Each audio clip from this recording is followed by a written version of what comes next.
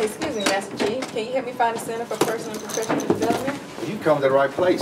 So, Petty Officer Adams, so what do you know about CPPD? Not much. This is the new Navy instructor training course. Petty Officer, do you have a question?